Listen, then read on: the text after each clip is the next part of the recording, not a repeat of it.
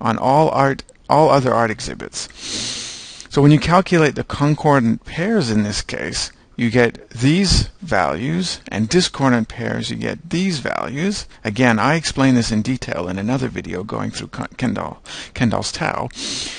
But then the Spearman, we see when we square those deviations as the formula for Spearman rank correlation tells us to, we get a really big 11 deviation. 1 minus 12 is 11 when you calculate the absolute deviations. And then when you square that 11 value, you get a really big 121. So you can start to think, well, what are these big deviations going to have an impact on the formula, even though everything else is perfect? There's, there are no deviations amongst the other 10 art exhibits, and so that when you square 0, you get 0. Well, what happens is that Kendall's tau comes out to be 0.364 in this case, and Spearman's rho is even is lower, not larger. It is lower than Kendall's tau. So although in practice in most cases you'll get a larger Spearman rank than Kendall's tau, and a large number of books, textbooks and papers tell us to expect larger Spearman's rho, it's not always the case. You will get a, a smaller rho when the deviations are huge uh, amongst a couple of observations, as they are in this case. And I think you can start to wonder, well, when would I want to use Kendall's tau versus Spearman's rank correlation? Because they're actually testing something different. And one example that came to mind, in fact, I used this art exhibit case, was what if the student, one of the students was eventually going to replace this master? And this art um, uh, company or uh, whatever it is that evaluates art, they were happy to make small errors from time to time, but they did not want to make huge errors ever because it would be an embarrassment to the company to do that or the um, art um, museum. It would be an embarrassment uh, to make a really huge error, even if it was just once. Uh, whereas Kendall's tau is relatively uh, insensitive to that. So in the case of so if we used Kendall's tau under this pretense that we only wanted a student that can roughly replicate the master, and it's okay to make small mistakes here and there, but never make a large mistake, it's actually better to use Kendall's tau in that case to estimate the correspondence. Uh, whereas Spearman's rho I should say I made that I made I should say the opposite. Spearman's rank is actually the better case because it will detect those sensitivities. Sorry about that. Spearman's rank will detect those uh, th those rare and unusual sensitivities that are very big discrepancies.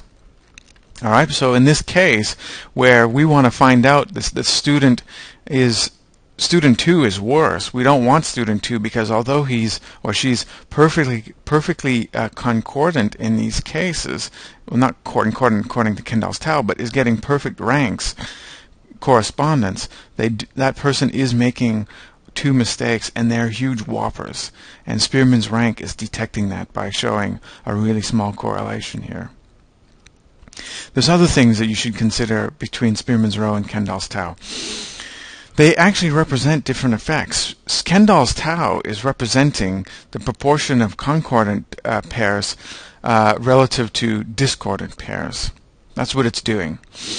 Uh, Spearman's rho doesn't do that, and the real truth of it is that it's not easy to discern an, in, an intuitive interpretation of Spearman's rho. I don't think anyone's ever advanced one. In practice, rho will be larger than Kendall's tau, although I showed an example where that's not the case. Um, Gibbons, uh, in his book on nonparametric associations, on nonparametric measures of associations, states that Kendall's tau has more attractive qualities over Spearman's and there's other people that argue that. Uh, first of all, Kendall's tau has an intuitive interpretation, the proportion of concordant pairs minus the proportion of discordant pairs. Spearman rank does not have a similar intuitive interpretation. Kendall's tau gives better estimates of the corresponding population parameter, especially in smaller sample sizes. And not only that, p-values associated with Kendall's tau are more accurate in smaller sample sizes. And I'm giving as an example something smaller than 12. Uh, so I'm asking the question, why isn't everyone using Kendall's tau over Spearman's rank correlation? Especially given that Spearman's rank correlation is really, really sensitive, as I demonstrated, to really large discrepancies that only occur once or twice in a data set, but are otherwise perfectly uh, concordant from one rank to the other uh, in the data set.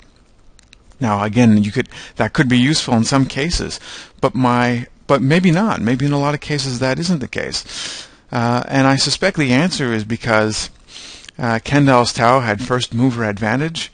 Uh, and so, because Spearman's rank correlation came out before Kendall's tau, people got used to using it.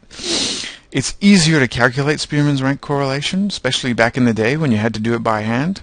It's actually much easier, um, I would say, that, to calculate uh, Spearman's rank correlation especially if you had tied ranks, which happens from time to time.